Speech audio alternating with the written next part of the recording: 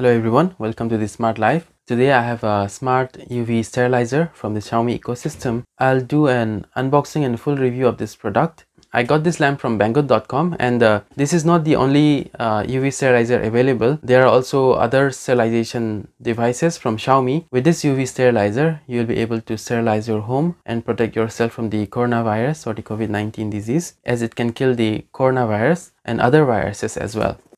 So coming to the device itself, as you can see, it has a 32 watts UV lamp at a 220 volts and 50 hertz. So if you are in other locations that has a 110 volts, then you will not be able to use this device. And it can also be connected to the Mi Home or the uh, Mijia app with the Android or iOS and it has Wi-Fi 2.4 gigahertz to your Wi-Fi, home Wi-Fi. And it also has a human motion sensor uh, inbuilt into this device so that if you walk in uh, during the sterilization process by mistake, then it will be be turning off because it is harmful to the human skin and human eyes. So no human or any other moving objects should be present during the sterilization process. The main thing I'll be testing is whether it produces ozone. UVC lamps or the UV lamps uh, can produce ozone due to the ionization process. So let's see whether it produces ozone or not and uh, whether the human motion detection works and how is the sterilization process.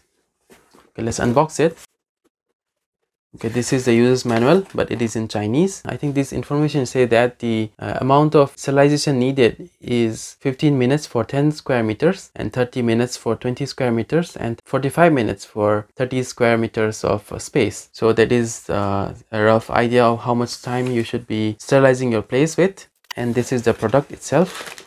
It's uh, nicely packed. Okay so this is the device as you can see it looks very nice and uh, these are flexible. These are present to prevent any damage to the uh, lamp.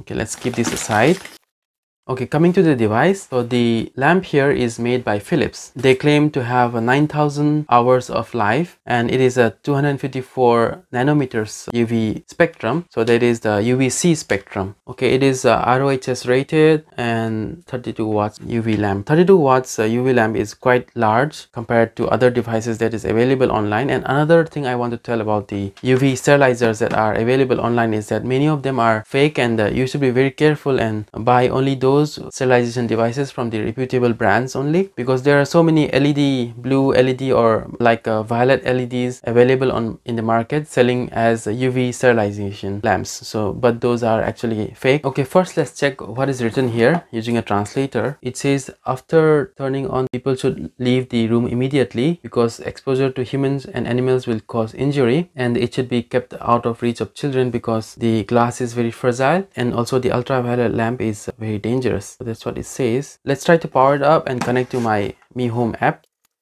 Let me see the cable length. 1.5 meters of cable length. So let's try to power it up.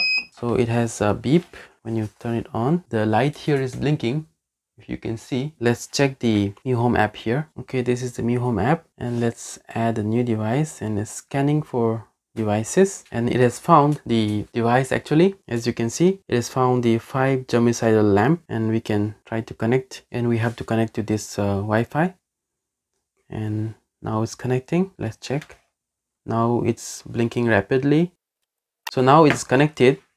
So we have to select a room so we can say bedroom. So we can also name the device like this. And the next. Okay let's get started so currently it is off and you can select uh, 15 minutes of sterilization or 30 minutes of sterilization and 45 minutes. So if your room is very big then you can go for 45 minutes and 30 minutes for a medium sized room and 15 minutes for a small kitchen or a bathroom or something like that. And let's see other options before we test this device. So the name and the manage locations you can share this device to other people. Okay that's it. So now we have to test this device and uh, physically it has a button here so if you press this button i think the sterilization process will start without the app. So you don't actually need the app to start the sterilization process. But the amount of time is set in the app. So it's better to have an app connected. By default the sterilization time is 30 minutes. So i'll test it and show it to you. Okay uh, now let's test the device.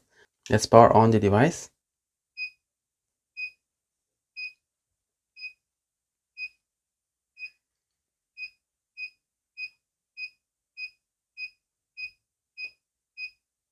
okay the device seems to have started. So it started with the beeping noise. Initially the beep was uh, slow and then it started beeping higher frequency. As you can see the countdown has started with the remaining of uh, 15 minutes. So let's uh, run it for some time and let's see if there is any ozone produced. I'm in the another room right now and i'll walk in into the current room and uh, we will see whether it actually stops the sterilization process by seeing my motion. Let's do that now okay so now it's uh it has detected the motion and because of my motion it has uh, stopped the sterilization process. And now let's see if it starts again. Okay now it has started again. The motion detection feature is working very well as expected and uh, it is very safe to use because if somebody accidentally walks in during the sterilization process then it will stop and issue a continuous beeping noise once the human or the motion is not detected anymore it will start again it will also issue an alert like this so personal activity is detected during the operation so that is uh, the case and uh, i'll turn it off for now the test is now successful when it's off it issues a long beep and another thing is I can feel a weird smell. I think that is the ozone. I think it is producing some ozone. I'll now show you the manual operation of this device. Uh, there's a physical button here. In order to operate this device, a little bit complicated because uh, kids should not be able to use it. So you have to long press first time.